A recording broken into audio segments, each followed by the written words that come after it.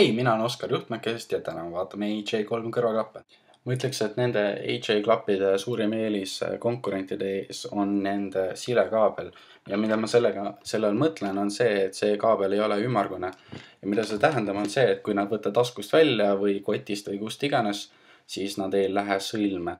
lisaks sellele, et need klapid äh, ei lähe sõlme, näevad need ka päris head välja ja mis kõige peamine need on väga hea heliga klapid.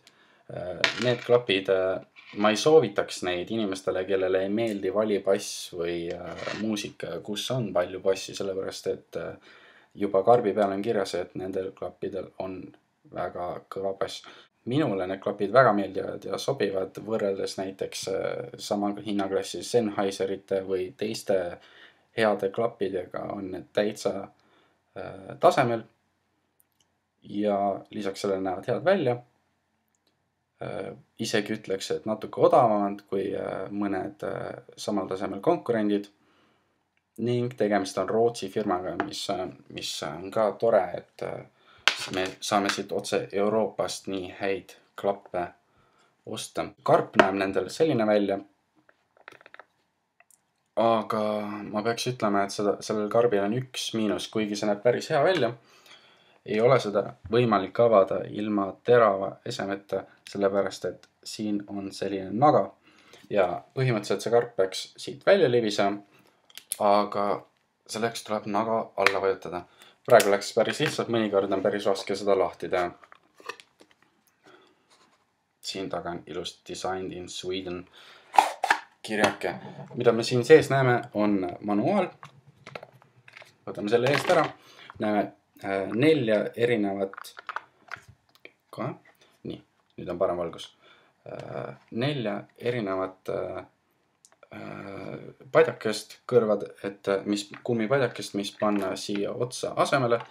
ja see, et neid siin neli on, on ebatavaline, aga väga hea, mis ta, ma ei tea, kas siin on nüüd väiksemaid padjakesi rohkem või on suuremaid aga see tähendab seda, et need peaks sobima kõikidele kõrvadele. ja padjakeste vahetamine nagu ikka käib väga lihtsalt, tuleb lihtsalt see siit otsast ära võtta. ja teine asemele panna. nagu tavaliselt kõikide teiste klappidega. nagu näha, see on kõige väiksem suurus ja see on, äh, see ei ole isegi kõige väiksem. see on peaaegu kõige väiksem suurus. ja kui vaatad siis siin see vist on extra small. siin see on ikka päris väike, natuke keeruline isegi otsa panna seda. aga kui me siia otsa saame, siis, siis äh, need, see peaks sobima ka kõige väiksemate kõrvadega inimestele. nii, see on tõesti päris väike, kui võrrelda tavalise suurusega.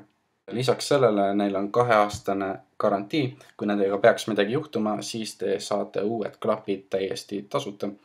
näiteks äh, mina ostsin enda klapid IM arvutist äh, umbes pool aastat või kolmveerand aastat kasutasin neid, kuni üks klapp jäi enam päris vaikseks ja lõpuks ei mänginud enam midagi. käisin kohale ära, anti uued klapid ja ma olen väga rahul nendega lisaks on karbis veel kõrvaklapi jagaja. kui teil on iPod, iPhone või arvuti, ükskõik ja te tahate kuulata sõpradega kõrvaklappidega muusikat, mitte valjult, siis te saate kahekesi mõlemad oma kõrvaklappidega kuulata. ja lisaks on veel lennuki adapter, äh, parem-vasak äh, ja saab stereoks helid teha ma ei ole näinud teisi kõrvaklappe, millel oleks nii palju asju kaasas ja kuigi näiteks neid adaptereid ma ise ei ole kasutanud, siis ma näen, et või tunnen, et mõni inimene võib neid täitsa vabalt igapäevaselt ära kasutada. ja see on kõik. ma, mina panen nendele kõrvaklappidele hindeks viis viiest. ja näeme teid järgmisel korral